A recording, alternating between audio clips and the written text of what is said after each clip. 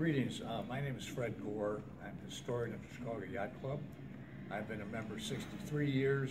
However, I'd like to introduce Peter Barrett, who's been a member since 1950. Is that right, Peter?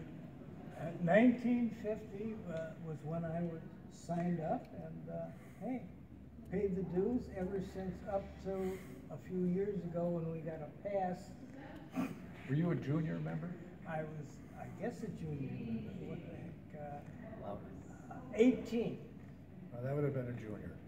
Anyway, uh, tell us about the Island Goats and uh, how you're involved with it.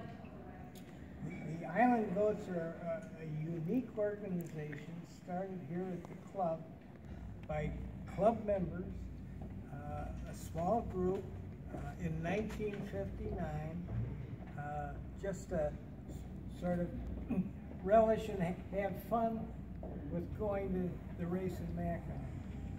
Uh, over the years, th- this group has grown uh, tremendously, starting out with a handful.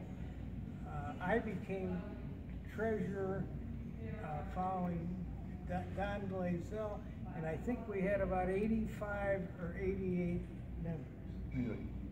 Uh, that was 13 Commodores ago. I, I've remained a treasurer over, over these years.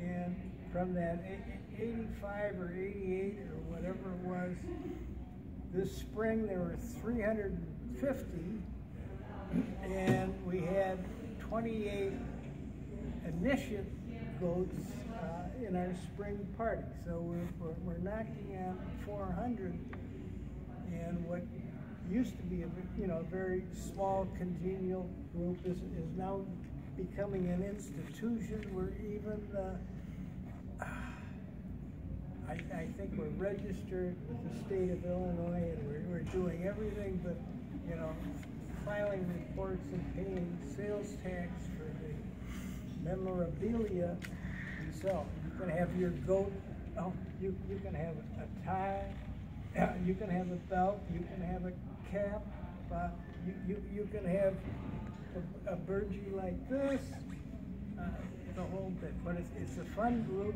and it's grown to close to 400.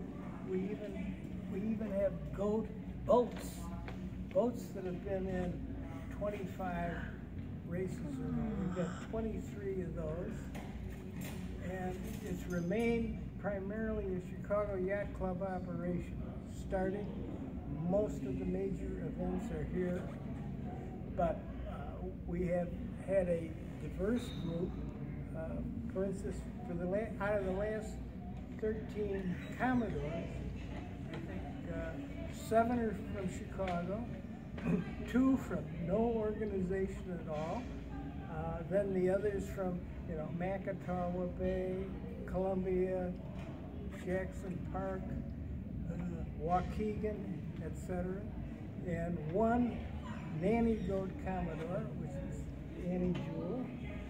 And we'll have another island goat Commodore in a year or two if the normal succession proceeds and Angela Graham, who's now the secretary, will be the second nanny goat Commodore. So, a fun